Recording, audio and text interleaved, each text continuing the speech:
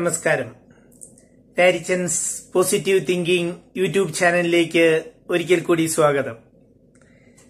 ഇന്ന് ഞാൻ നിങ്ങളോട് ചർച്ച ചെയ്യാൻ ഉദ്ദേശിക്കുന്നത് ഈസി ആയിട്ട് നമുക്കെങ്ങനെ സ്റ്റീം ബാത്ത് എടുക്കാം എന്നതിനെക്കുറിച്ച് രണ്ട് കാര്യങ്ങൾ. അത് ഏതൊക്കെ രീതിയിൽ നമുക്ക് വലിയ ചെലവ് കൂടാതെ സ്റ്റീം ബാത്ത് എടുക്കാം എന്നതിനെക്കുറിച്ച് രണ്ട് കാര്യങ്ങൾ നിങ്ങളുടെ മുമ്പിൽ അവതരിപ്പിക്കുന്നതിനാണ് ഞാൻ ഉദ്ദേശിക്കുന്നത്. സ്റ്റീം ബാത്തിനെ കുറിച്ചൊരു വീഡിയോ ഇട്ടപ്പോൾ അത് വളരെ ചിലവല്ലേ സ്പായിലോ ഹെൽത്ത് ക്ലബിലോ ഒക്കെ പോവുക എന്ന് പറഞ്ഞാൽ എല്ലാവർക്കും സാധിക്കുമോ? അതിന് ഏറ്റവും ലളിതമായിട്ടുള്ള മാർഗം എന്താണ് എന്നൊക്കെ ഒന്ന് രണ്ട് പേരിങ്ങനെ ചോദിക്കുകയുണ്ടായി. അപ്പോഴാണ് എനിക്കറിയാവുന്ന ഒന്ന് രണ്ട് കാര്യങ്ങളെക്കുറിച്ച് ഒരു ചെറിയ വീഡിയോ ഇടാം എന്ന് ആലോചിച്ചത്. ഏറ്റവും ഈസി ആയിട്ട് നമ്മൾ സ്റ്റീം ബാത്ത് എടുക്കുമ്പോൾ നമുക്ക് ഏറ്റവും പ്രധാനപ്പെട്ട കാര്യം എന്ന് പറഞ്ഞു കഴിഞ്ഞാൽ നമ്മുടെ ബി പി ബ്ലഡ് പ്രഷർ അതുപോലെ തന്നെ ഷുഗർ നമ്മുടെ ക്രിയാറ്റിൻ യൂറിയ ഇങ്ങനെ നമ്മുടെ ശരീരത്തിന് ആവശ്യമില്ലാത്ത എല്ലാ വസ്തുക്കളെയും നമ്മുടെ ചർമ്മത്തിന്റെ ചർമ്മത്തിലുള്ള ചെറിയ ചെറിയ ദ്വാരങ്ങളിലൂടെ നമ്മുടെ ശരീരം വളരെ പെട്ടെന്ന് പുറന്തള്ളുന്നു. അതുകൊണ്ട് തന്നെ ബി പിയും ഷുഗറും ഒക്കെ പെട്ടെന്ന് താഴാനുള്ള സാധ്യതയുള്ളതുകൊണ്ട് ഈ രീതിയിൽ നമ്മൾ ഷവർബാത്ത് എടുക്കുമ്പോൾ ബി പി എം ഷുഗറും ഒക്കെ ഉള്ളവരാണെങ്കിൽ ഒരു പുറത്തുനിന്നൊരാളുടെ സഹായം ആവശ്യപ്പെടേണ്ടതാണ്. കാരണം തനിയെ പോയി ഇരുന്ന് കഴിഞ്ഞാൽ പെട്ടെന്ന് ബി പി താഴ്ന്നു അതിനകത്ത് വീണു പോയി കഴിഞ്ഞാൽ നമുക്കൊന്നും ചെയ്യാൻ പറ്റാതെ വരും. അതുകൊണ്ട് ബി പിയോ ഷുഗറോ ഒക്കെ ഉള്ളവര് അങ്ങനെ ഒരു കാര്യം കൂടി ശ്രദ്ധിക്കണമെന്ന് പ്രത്യേകമായിട്ട് നിങ്ങളോട് പറയാൻ ഉദ്ദേശിക്കുകയാണ്. ഇനി ഞാൻ ഉദ്ദേശിച്ച കാര്യം എന്ന് പറഞ്ഞു കഴിഞ്ഞാൽ നമുക്ക് ഷവർ ബാത്ത് സ്റ്റീം ബാത്ത് എടുക്കണം എന്ന് തോന്നിക്കഴിയുമ്പോൾ നമ്മുടെ ബാത്റൂമിൽ തന്നെ നമുക്കൊരു ചെറിയ സ്റ്റീം റൂം തയ്യാറാക്കാവുന്നതാണ്. അതിനായി ചെയ്യേണ്ടത് എന്നാന്ന് ചോദിച്ചു കഴിഞ്ഞാൽ നമ്മുടെ ബാത്റൂമിലെ ഹീറ്റർ ഫുള്ളായിട്ട് ഫുൾ ടെമ്പറേച്ചറിൽ അഡ്ജസ്റ്റ് ചെയ്തിടുക. അതിനുശേഷം നമ്മുടെ ബാത്റൂമിലുള്ള ഷവറ് അതിന് മിസ്റ്റ് എന്ന ഒരു ഓപ്ഷൻ കാണും. അതായത് വെള്ളം തീരെ പൊടിപൊടിയായിട്ട് ഷവറിൽ കൂടെ വരുന്ന ഒരു മിസ്റ്റ് ഓപ്ഷൻ കാണും. ആ ഓപ്ഷനിൽ ഒരു പതിനഞ്ച് മിനിറ്റ് ഷവർ ഓൺ ചെയ്ത് ബാത്റൂമിൽ വെച്ചിരിഞ്ഞാൽ ചൂടുവെള്ളം ഇങ്ങനെ വന്നു കഴിയുമ്പോഴത്തേനും ആ റൂമിൽ നിറച്ച് നല്ല എന്നിട്ട് ആ വാതിൽ അടച്ചിട്ട് കഴിയുമ്പോൾ ആ റൂമിൽ ബാത്റൂമിൽ നല്ല ചൂടുണ്ടാവും. ആ ചൂടത്ത് നമ്മൾ ഒരു മുപ്പത് മിനിറ്റ് അതല്ല നമുക്ക് പറ്റുമെന്ന് തോന്നുവാണെങ്കിൽ ഒരു മണിക്കൂറൊക്കെ ഒന്ന് ഇരിക്കുവാണെങ്കിൽ നമ്മുടെ ശരീരം വളരെ നന്നായിട്ട് വിയർക്കുകയും ഒത്തിരി വിയർപ്പ് നമ്മുടെ ശരീരത്തിൽ നിന്ന് പുറത്തു പോവുകയും ചെയ്യും. പിന്നെ ഡീഹൈഡ്രേഷൻ ഉണ്ടാകാനുള്ള സാധ്യതയുള്ളത് കൊണ്ട് ഇടയ്ക്ക് ഇച്ചിരി വെള്ളം കുടിക്കുന്നത് നല്ലതാണ്. അതുപോലെ തന്നെ നമ്മൾ ഒരു മാക്സിമം അരമണിക്കൂർ മാക്സിമം അരമണിക്കൂർ തൊട്ട് ഒരു മണിക്കൂർ വരെ ഇരിക്കുന്നയാണെങ്കിൽ നമുക്ക് പറ്റുന്നതനുസരിച്ച് നമുക്ക് എന്തെങ്കിലും ഡിസ്കംഫർട്ട് തോന്നുകയാണെങ്കിൽ അന്നേരം നിർത്തിയിട്ട് പുറത്തിറങ്ങുക. അതിനുശേഷം നല്ലപോലെ വിയർത്ത് കഴിയുമ്പോൾ പിന്നെ ഒരു കാര്യം പറയാൻ വിട്ടുപോയി. നമ്മൾ കയറിയിരിക്കുന്നതിന് മുമ്പ് നമ്മുടെ ശരീരത്ത് ഒരുവിധം നന്നായിട്ട് ഒലിവ് ഓയിൽ തേച്ച് പിടിപ്പിക്കുകയാണെങ്കിൽ ഒലിവ് ഓയിലെ ചൂടുള്ള വസ്തുവാണ്. അതുകൊണ്ട് തന്നെ നമ്മുടെ ശരീരം കൂടുതലായി വിയർക്കാനും അതുപോലെ നമുക്ക് പൊള്ളലിന്റെ ആഘാതം പൊള്ളലിന്റെതായിട്ടുള്ള അങ്ങനെ ഒരു പ്രശ്നവും സ്കിന്നിന് ചെറിയ പ്രശ്നങ്ങൾ വരാതിരിക്കാനും സഹായിക്കുന്നതാണ്. അതിനുശേഷം നമ്മൾ സ്റ്റീമൊക്കെ എടുത്തു കഴിഞ്ഞു കഴിഞ്ഞിട്ട് ഒരു അരമണിക്കൂർ റെസ്റ്റ് ചെയ്യുക.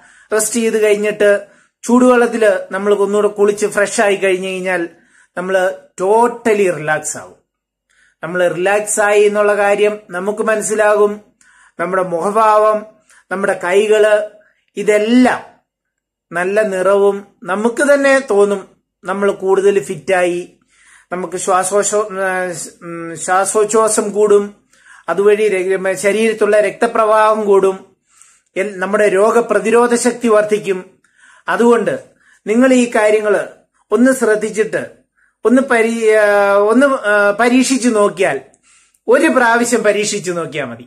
ഒരു പ്രാവശ്യം പരീക്ഷിച്ച് നിങ്ങൾക്ക് ഒരു മുപ്പത് മിനിറ്റ് അതല്ലെങ്കിൽ നാൽപ്പത്തഞ്ച് മിനിറ്റ് ഒരു മണിക്കൂർ ഇരിക്കാൻ സാധിച്ചെങ്കിൽ പിന്നെ നമ്മൾ നിങ്ങൾ ഒരിക്കലും ഇത് വേണ്ടാന്ന് വെക്കുകയാണ് കാരണം അത്രയ്ക്ക് നമുക്ക് ചേഞ്ച് നേരിട്ട് അറിയാൻ പറ്റും. ഇനി ഇനി ഞാൻ പറയാൻ ഉദ്ദേശിക്കുന്നത്. ഇനി നമുക്ക് ബാത്റൂമിൽ എങ്ങനെയുള്ള സംവിധാനം സെറ്റപ്പ് ചെയ്യാൻ പറ്റുന്നില്ല. എങ്കിൽ സ്റ്റീം ബാത്ത് വേണ്ട. നമുക്ക് ഹോട്ട് ബാത്ത് എടുക്കാൻ പറ്റും. ഹോട്ട് ബാത്ത് എടുക്കാനായിട്ട് നമ്മൾ ഒന്നെങ്കിൽ നല്ല ചൂടുള്ള കാലാവസ്ഥയാണെങ്കിലൊക്കെ ആ ചൂടത്ത് നമ്മുടെ കാറ് ഒരു ഒരു മണിക്കൂർ നല്ല ചൂടത്തോട്ട് ഇറക്കിയിടുക. അപ്പോ കാറിനുള്ളിൽ നല്ലപോലെ ചൂടാവും നമുക്കറിയാം. ഇനി അഥവാ തണുപ്പ് കാലമാണെങ്കിൽ നമ്മുടെ കാറിന്റെ ഹീറ്റർ ഉണ്ട്. കാറിനകത്ത് ഹീറ്റർ ഉണ്ടാവും. ആ ഹീറ്റർ വണ്ടി സ്റ്റാർട്ട് ചെയ്തിട്ടിട്ട് ആ ഹീറ്റർ ഒന്ന് കുറച്ചു നേരം ഓൺ ചെയ്തിടുക. അപ്പോൾ നല്ലപോലെ വണ്ടിക്കകം ചൂടാവും. ഈ ചൂടായി കഴിയുന്ന സമയത്ത് നമ്മുടെ ലെഗ് സ്പേസിൽ കാറിന്റെ ലെഗ് സ്പേസിൽ ചെറിയ ഹോൾ ഉണ്ടാവും. വെള്ളം നമ്മൾ സർവീസ് ചെയ്യുന്ന സമയത്ത് വെള്ളം പുറത്തേക്ക് പോകാനുള്ള. അതൊരു ബൂട്ട് വെച്ച് കറുത്താവോ അല്ലെങ്കിൽ എന്തെങ്കിലും ഒരു ബൂട്ട് വെച്ച് അടച്ചിട്ടുണ്ടാവും. ആ ബൂട്ട് പയ്യെ ഒരെണ്ണം അങ്ങ് മാറ്റി വെച്ച് കഴിഞ്ഞാൽ കാറിനുള്ളിൽ ഫ്രീ ആയിട്ട് എയർ സർക്കുലേഷൻ ഉണ്ടാവും. എന്നിട്ട് ഏതെങ്കിലും ഒരു ചില്ല് ഒരു വശത്തെ ഒരു ചില്ല് ഒരു ശകലം ഒരു അര ഇഞ്ച് താത്തി വെച്ച് കഴിഞ്ഞാൽ ഫ്രീ ആയിട്ടുള്ള എയർ സർക്കുലേഷനും ഉണ്ടാവും. നിങ്ങൾക്ക് സുഖമായിട്ട് അതിന്റെ അകത്ത് നിങ്ങൾക്ക് പറ്റുന്നത് പോലെ മുപ്പത് മിനിറ്റോ അതല്ലെങ്കിൽ മാക്സിമം ഒരു മണിക്കൂർ വരെയോ ആ കാറിന്റെ അകത്ത് ഇരുന്ന് കഴിയുമ്പോഴത്തേനും എത്ര വേർത്ത് പോകുന്നുണ്ട് എത്രത്തോളം നല്ലതാണ്. വളരെയേറെ ഇഫക്റ്റീവാണത് നിങ്ങൾക്ക് ഈ രീതികൾ നിങ്ങൾക്കൊന്ന് പരി പരീക്ഷിച്ച് നോക്കാവുന്നതാണ്. എന്തായാലും ഞാൻ ഒരു കാര്യം ഉറപ്പ് പറയാം. നിങ്ങൾ ഒരു പ്രാവശ്യം ഇതിലേതെങ്കിലും ഒന്ന് പരീക്ഷിച്ചാൽ അതിന്റെ ഫലം നിങ്ങൾക്ക് തന്നെ ബോധ്യപ്പെടുകയും പിന്നെ നിങ്ങൾ തുടർച്ചയായി ഇത് പരിശീലിക്കുകയും ചെയ്യും. ഇത് നിങ്ങളുടെ ആരോഗ്യത്തിനും നിങ്ങളുടെ സൗന്ദര്യത്തിനും എല്ലാ കാര്യത്തിനും നിങ്ങളുടെ രോഗപ്രതിരോധ ശക്തിക്കും എല്ലാ കാര്യത്തിനും വളരെ പ്രധാനപ്പെട്ടതാണ്.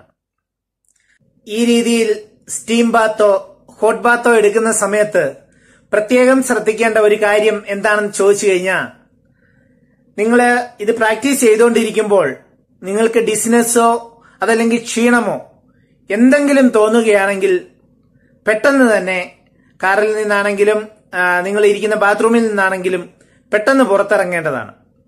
കാരണം ചിലർക്ക് പെട്ടെന്ന് ഓക്സിജന്റെ അവൈലബിലിറ്റി കുറഞ്ഞു വരികയാണെങ്കിൽ ക്ഷീണമോ അതല്ലെങ്കിൽ ഡിസ്നസ്സോ തേറിയ തലകറക്കം പോലെയോ അതല്ലെങ്കിൽ ചിലപ്പോൾ തലവേദന പോലെയോ തോന്നാനുള്ള സാധ്യതകളുണ്ട്.